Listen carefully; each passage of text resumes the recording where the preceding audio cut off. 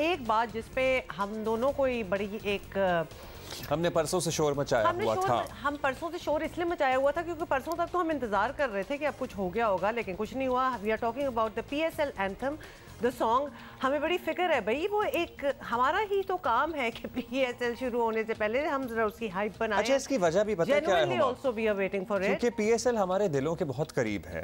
And this is one time of the year जब हम सारे अपनी तमाम टेंशन ज़िंदगी में भूल कर ये मैचेस इंजॉय करते हैं। इससे जुड़ी फेस्टिविटी मैचेस तो एक तरफ़ इससे जुड़ी जितनी फेस्टिविटी होती है चाहे वो एंथम्स हों गाने हों टीम्स की एक्टिविटीज़ हों प्लेयर्स का आना जाना हो कोई भी इवेंट हो we all enjoy it inverted commas together.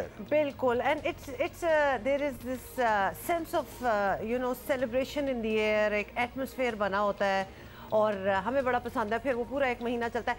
अब पिछले कुछ सालों से ये साल का बड़ा अच्छा आगाज़ हम इसको समझते हैं कि बड़ा अच्छा ज़बरदस्त किस्म का एक हमारा ये पी एस एल टूर्नामेंट है जिसका एट्थ एडिशन है बाय द वे इस साल।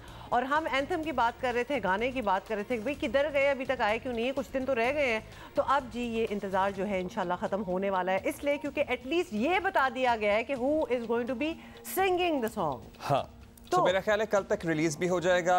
It is going to be none other than the superstar Asim Azhar Azhar and Pasoori fame star Shae Gill Shae Gill and our favourite Faris Shafi and और इसको बनाया किसने? अब्दुल्ला कुरैशी ने। तो लिहाजा अब्दुल्ला कुरैशी का भी आप जिन्होंने पसूरी भी बनाया है। तो आ, मतलब आजकल जो सारा हिप और न्यू एज और मैं क्या कहूँगी कि आजकल हमें ज़रा डिफरेंट तौर का गाने पसंद आ रहे हैं म्यूज़िक पसंद आ रहा है वो अब्दुल्ला कुरैशी ने ही बनाए होते हैं। So these are the stars Uh, this is the team, so we can expect like a rocking tune. क्या ख्याल yes, है? Certainly. और इसके अलावा भी लाहौर कलंदर भी अपना अलग से एक एंथम वगैरह रिलीज़ करेगा उसकी भी इत्तलात हैं कि कल रिलीज़ हो जाएगा वो ओह अच्छा कौन गा रहा है आई डोंट नो मुझे लगता है कि कौन इस दफ़ा कौन रिमेम्बर uh, uh, जब वो आए थे हमारे शो पे हाँ. तो देर वॉज़ अ सिंगर नहीं वो नहीं होगा मेरा ख्याल है कि उसको तो उन्होंने अभी ट्रेनिंग में दिया हुआ है।